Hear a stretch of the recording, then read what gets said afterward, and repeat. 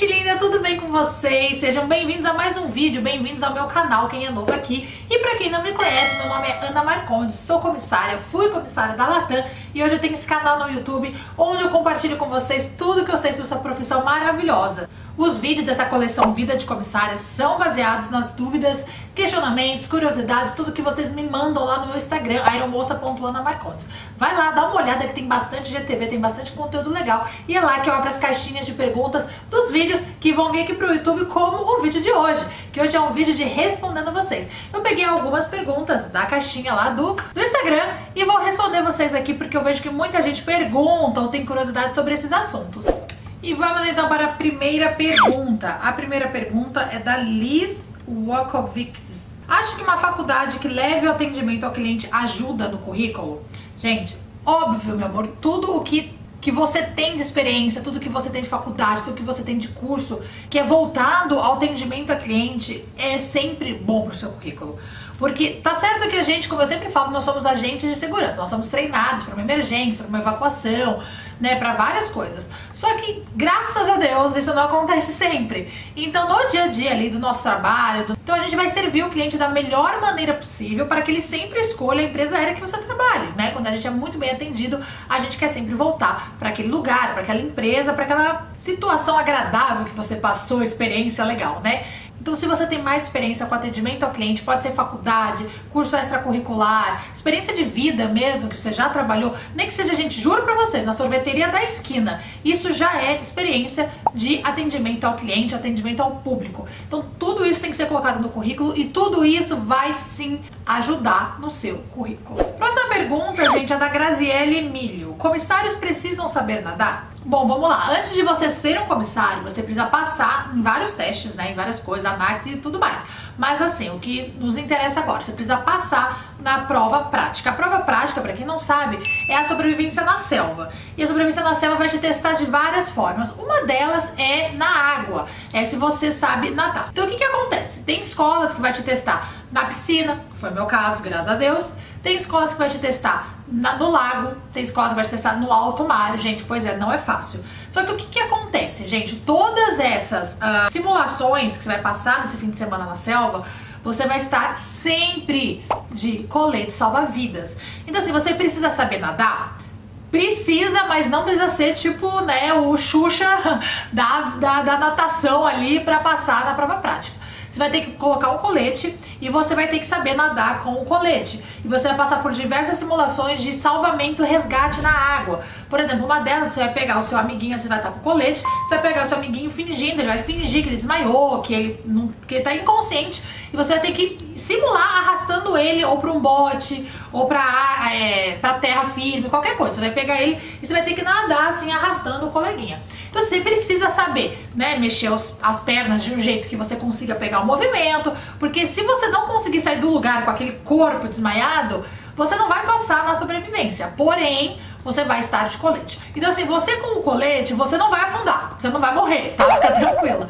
Só que você tem que saber se mover na água, você tem que saber nadar na água, entendeu? Então assim, tipo, mas é tudo básico. Então se você não sabe nada de nada, você tem que fazer sim umas aulas de natação para aprender o básico, entendeu? É, gente, bem básico mesmo, sabe? Saber talvez flutuar, saber é, se, se locomover na água, tá? E aí vai te ajudar muito. Se isso te faz uh, pensar que você vai ficar mais segura em passar numa prova, em ser uma comissária, eu acho muito legal. Só que eu acho que a gente tem meio que um instinto também, sabe? Quando você tá na, na escola de aviação, mesmo na, na parte teórica, você tem ali, né, um esboço do que vai ser. Então você pode se preparar. Você pode também praticar na piscina de um amigo, praticar na sua piscina ou no próprio mar, só para você se sentir mais à vontade. Então assim, precisa saber nadar 100%, ser assim no atleta? Não. Mas você precisa saber o básico do básico. Você vai praticar e se você não passar nessa prática do mar, da água, de onde for, você não vai conseguir ser comissário. Se você passar, então quer dizer que você que aquele seu nado é o suficiente. Então não precisa se preocupar, entendeu? A próxima pergunta é da Beatriz Santos. Ela me pergunta assim: como você fez para escolher o seu curso? Gente, eu vou responder essa pergunta porque assim, muita gente fala pra mim assim, Ana, que, que escola você indica de aviação? Ana, onde você fez a sua escola? É, se indica pra gente e vocês nunca me veem aqui falando sobre indicação de escola de comissário. Porque assim, a minha escola, eu gostei muito dela, tá? Eu fiz na Wings, Escola de Aviação Civil, lá em Congonhas, em São Paulo.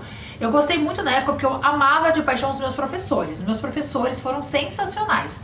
Assim, eu nunca tive problema com a escola, mas eu sempre fui um pouco rebelde. Então, não vou dizer também que o que eu tive de estresse na escola foi culpa deles. Mas fica pro outro vídeo, eu vou contar pra vocês tudo que eu passei, se vocês quiserem, tá? Me conta aqui embaixo se vocês querem que eu conte sobre a minha época que eu fiz a escola de comissário. Então o que que acontece? Logo depois que eu entrei na aviação, eu fiquei sabendo que a escola passou por uma reforma interna lá e que mandaram todo mundo embora, todo mundo saiu. Só sei que nenhum dos meus professores continuava lá. Então assim, a escola não sei se ela é mais tão boa sem os meus professores. Então por isso que eu não indico. E por que, Ana, que você então escolheu fazer na Wings? Você viu as variações? Você achou que era melhor? Gente, eu vou contar um segredo pra vocês, vocês não vão acreditar. Sério mesmo. Sabe por que, que eu escolhi a Wings? Porque na época foi a única escola de aviação que aceitava boleto. Porque todas as outras queriam cartão de crédito para você pagar e parcelar a mensalidade, mas eu não tinha cartão de crédito, minha mãe não tinha cartão de crédito, eu não tinha para quem pedir. E assim, ou eu fazia no boleto ou eu não tinha como fazer o curso. Então, fiquei sabendo que a Wings aceitava boleto, que daí todo mês eu ia lá e pagava o boleto da mensalidade. Foi por isso que eu escolhi fazer na Wings. Se não tenho nada contra a escola, mas nada que eu possa dizer, ó, oh, é a melhor do mundo, vai lá fazer. Então, assim, o que, que eu indico para vocês quando vocês querem procurar uma escola de aviação? Primeiro de tudo, vocês têm que dar uma olhada se ela é homologada pela ANAC, porque isso é muito importante. Em segundo lugar, gente, se o preço tá adequado, se a distância da sua casa, do seu trabalho tá adequada, porque você não pode ficar faltando, você tem que ver as avaliações no Google, conversa com os, sei lá, entra no Instagram da escola, conversa com os alunos, vê se tá tudo ok a escola, que que é, qual a opinião dos alunos, tá? E é isso, e assim você decide, não tem pra mim nada demais. Se algum dia eu descobrir uma escola, fizer uma parceria, conhecer uma escola, achar que é super legal pra vocês, vocês vão ser os primeiros a saber. Mas por enquanto é essa a dica, a dica que eu dou. Próxima pergunta da Mari, Mari Lopes. Natal, Ano Novo, vocês passam com a família? Hum, boa pergunta, Mari. A gente só passa Natal e Ano Novo com a família se a escala deixar. É, não tem essa, ah, é Natal, vamos revezar. Não, gente, é assim, a escala que manda tudo. O que que acontece é o seguinte, você pode pedir é, folga antecipada. Qualquer dia do mês você entra lá, depende de cada empresa, tem cada um tem o seu sistema, né? Mas a Latam você tinha lá o nosso tinha o site do funcionário, do tripulante, e tinha uma, uma aba lá que era só sobre isso. Sobre pedir é, folga antecipada, para você conseguir folgar, sei lá, no casamento de um amigo, no aniversário do, do seu filho, esse tipo de coisa. E aí, o que, que acontece? Quando as datas são especiais, tipo carnaval, feriado em si, ou Natal e Ano Novo, tem todo um acontecimento. Tipo, no dia, é, sei lá, no dia 20 de novembro, vai, à meia-noite, vai abrir para pedir a folga do Natal Ano Novo. Aí é aquela coisa do sistema ficar super carregado, que tá todo mundo lá correndo, entrando para pedir a folga. Se você tá voando e não tem acesso à internet, você já era, você não vai conseguir pedir. Mas mesmo você tentando pedir, que tem um número, tá, gente, máximo. E aí quando esse número acaba, fica a janelinha cinza ali, você não pode pedir aquela data nem a pau. Mas mesmo assim, se você pedir a folga do Natal, por exemplo, não quer dizer que você vai folgar no Natal, entendeu? Tem uma prioridade. Mas já aconteceu comigo de pedir folga e não conseguir a folga. Isso em qualquer dia, dia normal ou feriado. Então imagina feriado. Ainda mais concorrido igual Natal e Ano Novo. E já vi gente, por exemplo, que não pediu Natal e Ano Novo e ganhou tanto Natal quanto Ano Novo, ou um, ou outro, ou os dois. A escala, gente, é uma máquina ali, são números, né? E aí lá fica ali gerando, né, os, os dias, as folgas, encaixando os pernoites. Então ali, bom, pode ser que você ganhe a sua folga ou não. Então pode ser que dê sorte, pode ser que não. Pode ser que, por exemplo, você não folgue ano novo, mas vai viajar com a tripulação super legal. E aí vocês passam, por exemplo, a virada no hotel, todo mundo junto, compra uma champanhe. Pode ser, pode, já vi histórias. Já vi gente, histórias, por exemplo, de você passar a virada no voo. Aí vocês fazem uma bagunça no avião, os passageiros também. Bagunça assim, né, gente? Por favor, pode dizer. Você, todo mundo se abraça, deseja no novo. Então, assim, tudo depende do clima que você tá. Mas aquela coisa de tipo, ah, vou pegar dois, três dias aí, emendar Natal, Ano Novo, filha, esquece, isso não existe na aviação. Emendar ainda, pedir tipo, ah, então tá, eu vou pedir dia 23, 24, 25. Não dá, gente, simplesmente não dá. Se você for ser comissário, se você for ser comissária, saiba que a sua vida social não vai ser prioridade. Natal, Ano Novo, Dia das Mães, Dia dos Pais, Dia das Crianças, reunião dos filhos, qualquer coisa, você tá sujeita à bondade da escala, beleza? Vamos para a última pergunta desse vídeo que eu acho que é Janderson. Ele perguntou o seguinte: moro no interior, as empresas contratam assim mesmo? Então o que, que acontece? Nós temos comissários, aeromoças no Brasil inteiro. Então a companhia aérea, ela não se preocupa muito de onde você vem, não. Ela tá mais preocupada se você vai dar um jeito de estar tá lá quando tiver que estar. Tá. tá, como assim? Por exemplo, a, as empresas aéreas têm bases. Vamos falar da Latam. Tem base Brasília, São Paulo, Rio de Janeiro e Porto Alegre. Será que eu esqueci alguma? Então, por exemplo, você tem essas quatro bases. Então, assim, é, imagina se a companhia aérea, por exemplo, só contratasse quem morasse em Brasília, São Paulo, Rio de Janeiro e Porto Alegre. Não ia dar, né? Então, é, nessa, em volta dessas bases, existem uh, lugares que se alugam para os tripulantes.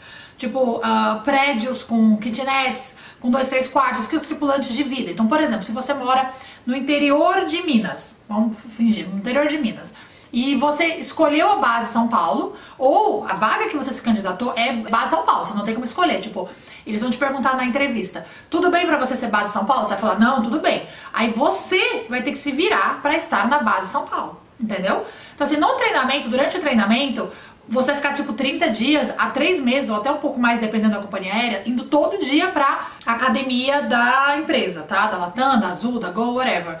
Então, assim, você vai ter que alugar um lugar. Só que já é normal isso. Então, inclusive, do lado da academia da Latam, lá em Congonhas, tinha um, um lugar que eles dividiram, assim, você, cada quarto era uma kitnet, entendeu?